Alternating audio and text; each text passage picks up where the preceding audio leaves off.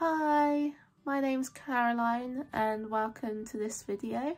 I thought I'd do a bit of a day in the life um, kind of style vlog, show you what I get up to on my days where I get to solely focus on my small business as an illustrator and uh, self-employment. I do have a normal 9 to 5 job that I work part-time which ends up being about four days a week. Um, two of my days are kind of half days so I do get a little bit of time on those days to also do a bit of artwork but not quite to the same extent as my full day off where um, I really try to focus and get lots of stuff done um, and use my time as effectively as possible. Um, not all of these days look the same. I do find from week to week they're quite different depending on what's coming up.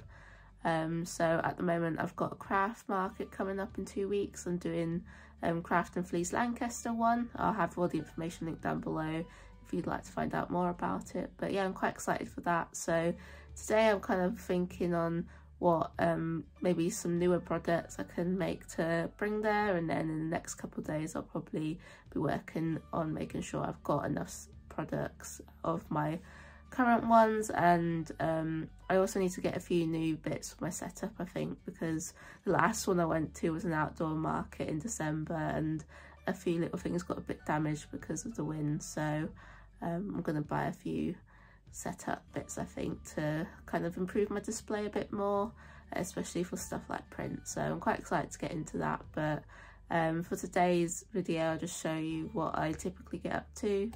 Um, and yeah so let's just get into this video shall we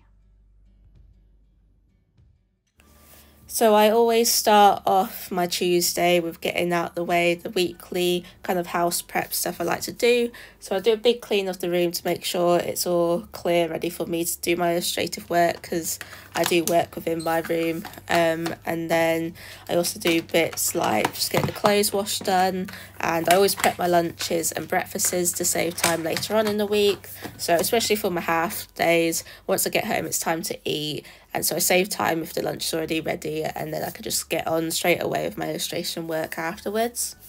Um, I started off this day with some admin work, specifically kind of like finances with the tax year um, coming up, the end of year. This was be my first time doing it, so I'm a little bit nervous and um, I definitely have thought of ways to improve for next year with the actual keeping track of my finances. Um, but it's all a learning curve and um, I'm excited to try and improve and keep on track of it for the next year. But yeah, uh, so I also kind of set a time limit for this admin work. I just find it helpful to in- motivate me to get it done quicker. And knowing I've got creative stuff to do later always um, helps with me getting it done. Then I did some editing of a TikTok, which I actually posted the same day, which you see on screen now. It's kind of just using the viral sound with showing my products. Um, next, I kind of prep all my Instagram slash Facebook posts for the week. So I try to do one photo post per week and then um, about three reels. I'm using my old TikTok content for the reels and um, I tried to keep my posts with new stuff but this was um, actually an old sketchbook page I did um, last year which I'd never ended up sharing and I was a bit behind with creating new artwork so I didn't have anything new to share so I thought I'd share this page as it's actually one of my favourite pages in um, my sketchbook and then after this I wanted to have a go at trying to create some new clay products. I'm specifically thinking of doing some like earrings, key rings, maybe some brooches.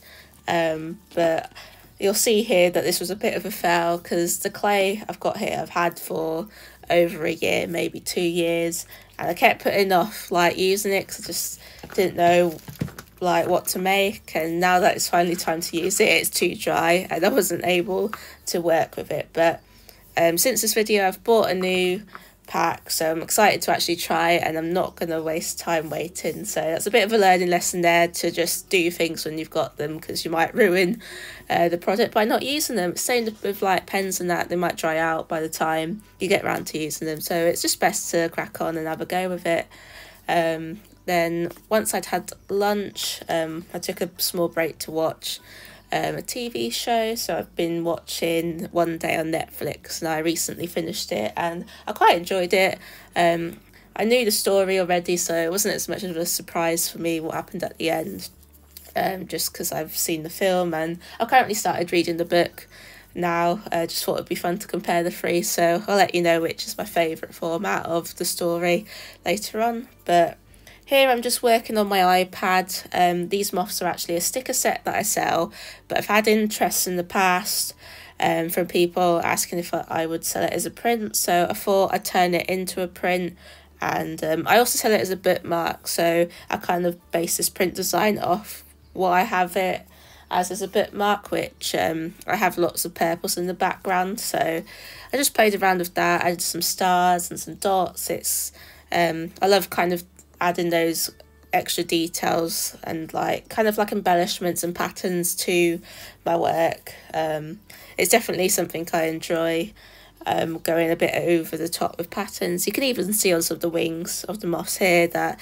there's a lot of like mark making and patterns on them just because I find it very therapeutic. But yeah, I tried out several things with um, the background of this. I was a bit indecisive, but in the end I kind of kept it simple um so you could have all the focus on the moss and um I really like how it turned out um in general um I'm starting doing new prints. So this is an A4 print I'm doing and I've also come up with two other designs as well, some from some old paintings. One is the um, Instagram post that you saw me editing, it's that piece, and then another one is a um, kind of mermaid painting I did last year, which you'll see in a minute in um, the next upcoming clips.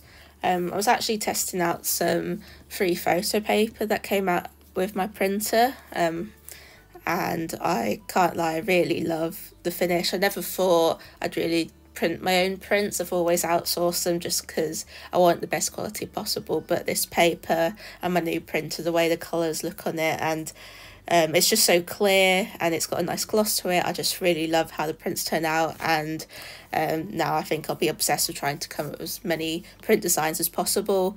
Um, it makes it more affordable for me to do more design options because I can print a limited amount of designs, see which ones are more successful and continue making them versus the ones that aren't successful to stop making them. So it's a lot more cost effective in the long term. So I've recently just bought some more paper and um, I'll stock up with some for my next market, which, like I've mentioned already, is the 6th of April um, in Lancaster. It's Craft and Flea. So um, when you're watching this, it's actually the weekend coming. Uh, so if you're in that area and um, interested to have, visit a cool market, I recommend there's a lot of fun creatives and it'd be great to see you there. So um, once I'd done these test prints, I started um, working on a new sticker set design pack that um, I'd like to create. These are of some fun cats and hats. Um, I did this as a sketchbook page um, earlier in the week and I just really liked how it turned out so I thought it'd be fun to make them as stickers. Um, so I what I do with um, my sketchbook drawings. I take a picture of them, then I put them into Procreate and I kind of trace over the sketch.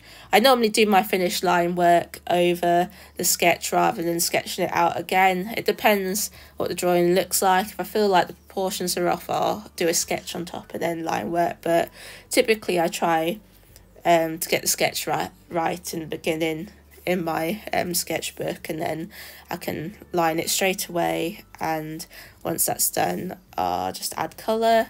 Um, so I experimented a bit more with this one. I normally use the dry br brush for my outlining um, but I thought I wanted to test out something a bit different and I'm quite li liking the more sketchy look so I thought I'd go something that's got more texture to it which was this um, I think it's a 6B pencil, so there's a bit more kind of like of a graphic look to the outlines. And um, I did try starting to colour it in with the same pencil to add more texture, but um, I'm not too keen on it. So I've gone back to the studio pen, which is just a block colour. So I'm going to do the base that way, and then maybe I'll try the 6 be out again to just add texture on top of the shading. I think I like the look of that a bit more. Um, I think I like it having a solid base so it's all coloured and then maybe explore with adding texture on top. But yeah, I had a lot of fun um, with this spread kind of coming up with different hats and um, I, when I was looking for my references, I tried to look for expressions that I thought would work for each hat. So with this clown one you see me outlining, I tried to go something a bit more sad. I also did a cowboy cat where um, I gave him quite a serious expression and I tried to utilise his whiskers to look like a moustache, which I thought was really fun. Um, what else did I do? I did a chef's cat where it's got his tongue out, he's quite hungry. Then I've got one that's a bit annoyed because he's in this like blonde wig with a pink bow as if he's been forced to dress up like that. Um, and yeah, I, I just had a lot of fun with it and tried to add some extra accessories to some of them. Like the clown one, I added a frilly um, neck piece to it. I forgot what they're called. Um, and then also I've done a cat with like a fun disco kind of hat, disco ball hat. So I added some funky sunglasses to him in a star shape. And yeah, I'm really excited to get the set done and keep your eyes out for my next vlog or two because um, I'll end up showing you the final result with it all packaged up and made into stickers. So I'm really excited to create them as a final set. And yeah, so after um, I finished this, I had my tea and then I normally go to the gym on a Tuesday as well. Um, with having a job um, like illustrating we sat down a lot. I do try to keep active as much as possible during the week. My 9 to 5 is kind of the same, it's more office space, so um, I do try to go to the gym about three times a week and do some walking. And yeah, so after this was all done, I did spend the night rest of my night kind of chilling and if I've got some drawing to do sometimes I will do that. Otherwise um I try to zone out from doing work and just relax ready for the next day whether that's reading or catching up with some YouTube or stuff like that. So yeah that's kind of an example of a day in the life of when I have the full day to work on my illustration work. Um thank you for watching. I hope you enjoyed this video and I'll see you in the next one Bye.